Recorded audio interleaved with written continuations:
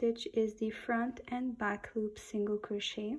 It's super easy to achieve. I hope you enjoy making this bag and let me know what you think in the comment section. I also have the written pattern available on my website. I'll leave the link in the description down below. So without further ado, let's get started. So for this bag, I'll be using t-shirt yarn. I get this from the brand Hoooked. I'll be leaving the link down in the description. And I'll be using a 6 millimeter hook. You'll also need some stitch markers. To start this bag, you'll need to chain 25 and to be able to chain you have to make a slip knot so roll your yarn on your fingers just like this insert your finger underneath here and come grab this take off your fingers and pull. You can now adjust it to your hook and chain 25 so yarn over pull through yarn over, pull through, yarn over, pull through, and just repeat these steps until you have 25 chains on your hook. Here I'm done making my 25 chains. Now I'm gonna come and place stitch markers. We're gonna put a stitch marker on the second chain in the front loop like this and you're gonna go ahead and do the same thing on the other side like this now we're gonna put back our hook and now we're gonna go ahead and do single crochets all over until we reach our last chain over here. So we're gonna skip the first stitch here and do a single crochet on the second chain. So insert your hook in the second chain. Yarn over pull through. Yarn over pull through two and because this is our first stitch we're gonna put a stitch marker. So we know that this is our first stitch. And we're gonna continue do single crochets all over. So insert your hook in the next chain, yarn over, pull through, yarn over, pull through two. Insert your hook in the next chain, yarn over, pull through, yarn over, pull through two.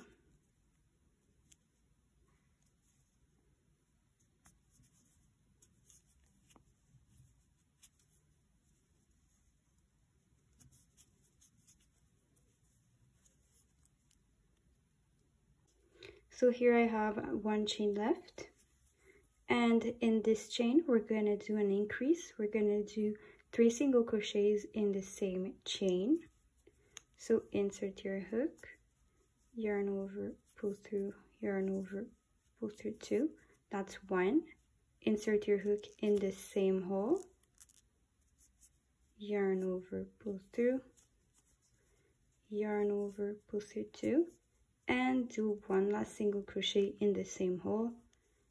Insert your hook yarn over pull through. Yarn over pull through two so here we have three single crochets in the same chain.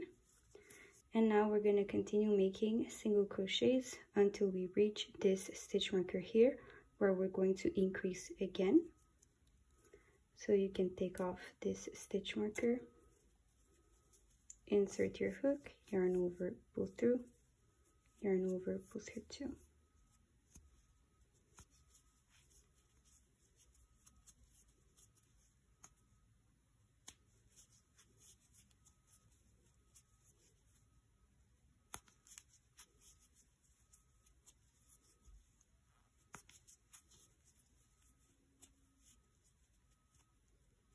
So I have now reached my stitch marker.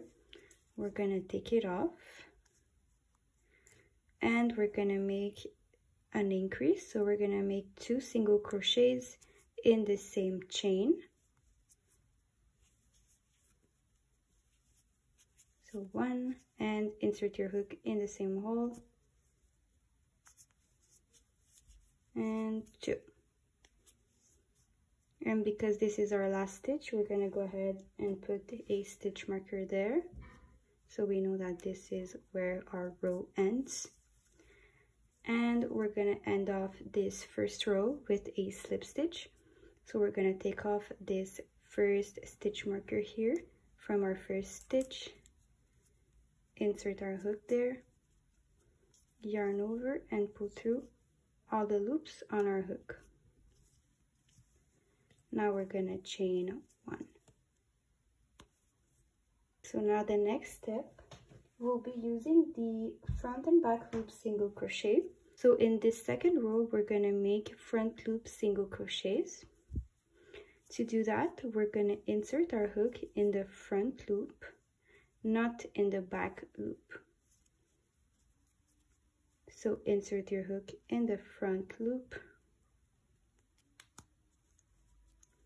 yarn over pull through yarn over pull through two and we're going to put a stitch marker on our first stitch here.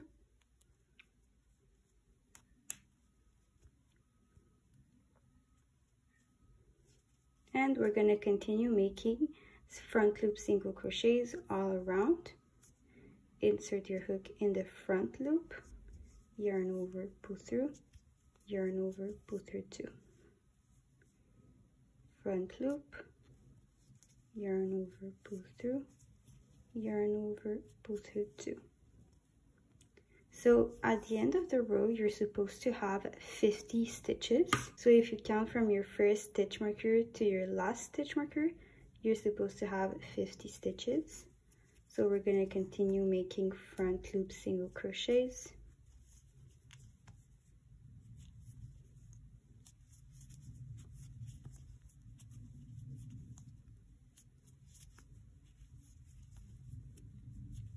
and I'll see you guys when I reach my last stitch marker over here. Okay so I have one stitch left to make. I'm gonna take off the stitch marker insert my hook in the front loop and make a single crochet. And we're gonna put back our stitch marker in our last stitch to end row 2 we're going to make a slip stitch. So take off your stitch marker over here. Insert your hook where that stitch marker was. Yarn over and pull through all the loops on your hook. Chain one and now for row 3 we're going to do a row of single crochets but in the back loop. So over here on this third row we're not going to insert our hook in the front loop but in the back loop. So insert your hook in the back loop. Yarn over pull through yarn over pull through two put your stitch marker in your first stitch. Insert your hook in the back loop. Yarn over pull through. Yarn over pull through two back loop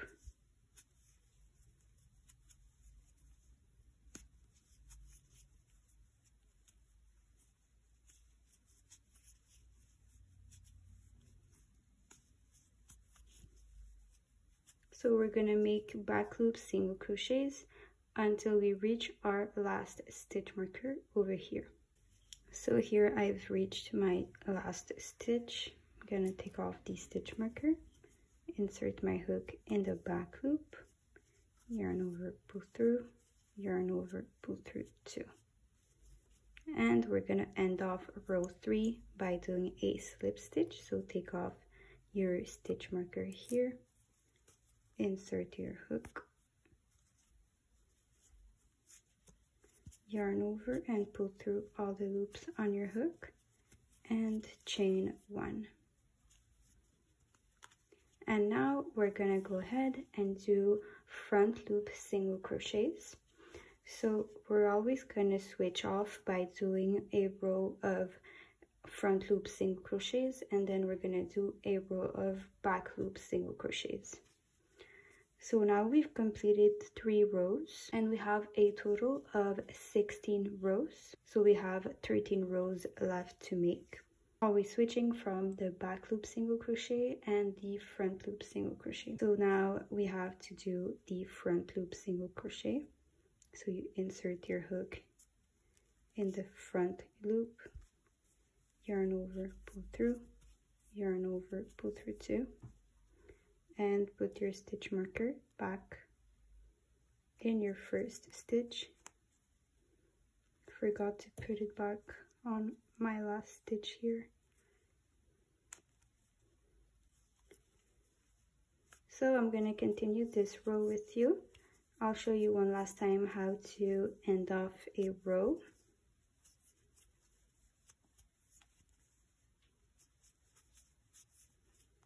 So this row is row 4 and we're making front loop single crochets.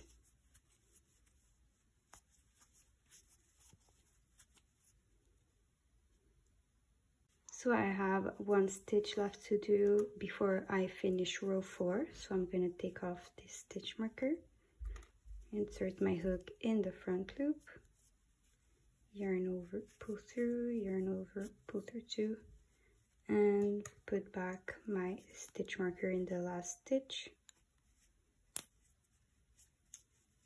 And we're to make a slip stitch.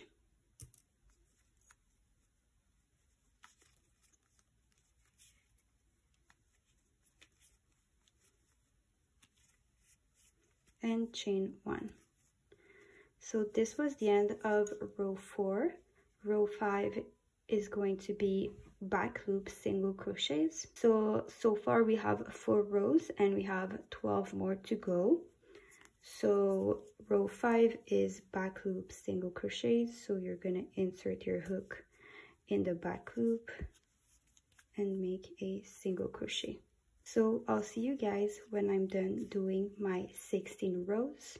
So here I'm done doing my 16 rows. So now what we're gonna do, um, after you're done making your last slip stitch, you're gonna pull some yarn and you're going to cut it.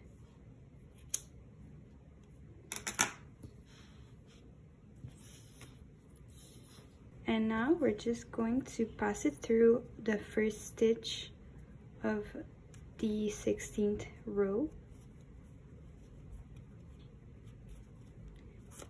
like this. And you can um, weave in this little tail inside of your bag. I always weave in all of the tails at the end of a project. And now there isn't a lot left to do. What we're gonna do now is the strap.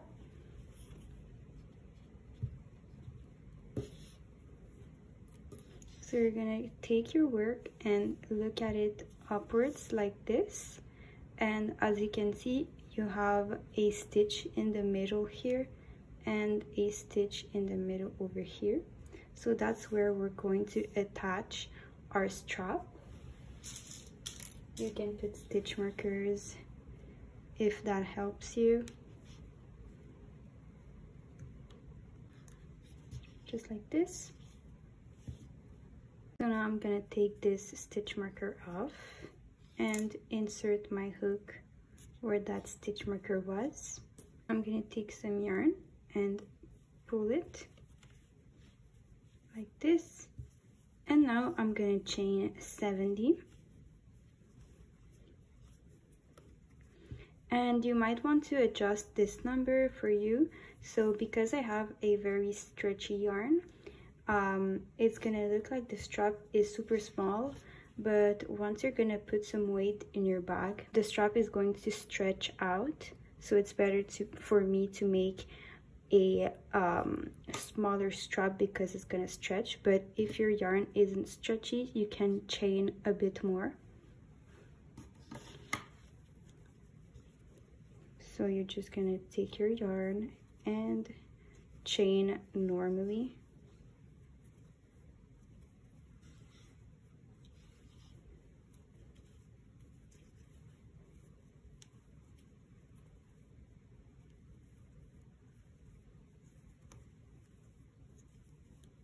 so continue that until you have the desired number of chains and I'll show you how to connect it on the other side.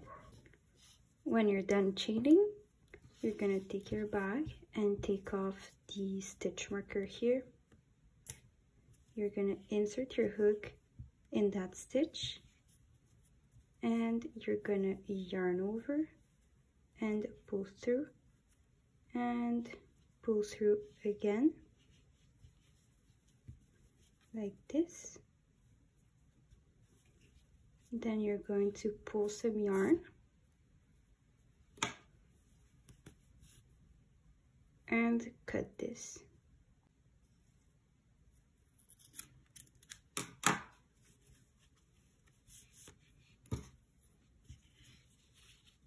And we're gonna pass this little tail in that hole just underneath here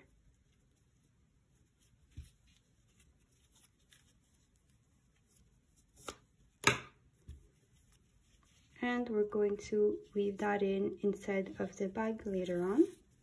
So we have one strap done. I like the look when there's two little straps. If you like it with just one you can just leave it up like that. So i'm gonna go ahead and do the exact same thing. So i'm gonna take my hook and insert it in the same hole. Pull through some yarn and chain 70 again. Now done doing my 70 chains and we're just going to repeat the exact same steps. So insert your hook in the same hole here, yarn over, pull through, and pull through. And then pull some yarn and cut it.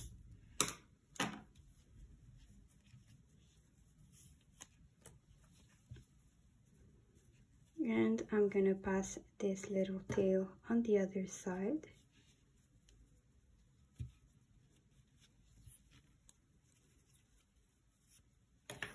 Just like this and now the last thing we have to do is just weave in all of these little tails inside of the bag. So this is the final result. I hope you enjoyed making this bag. Let me know your thoughts in the comment section. And yeah don't forget to give this video a like if you liked it. And don't forget to subscribe too. Thank you so much for watching. See you guys next time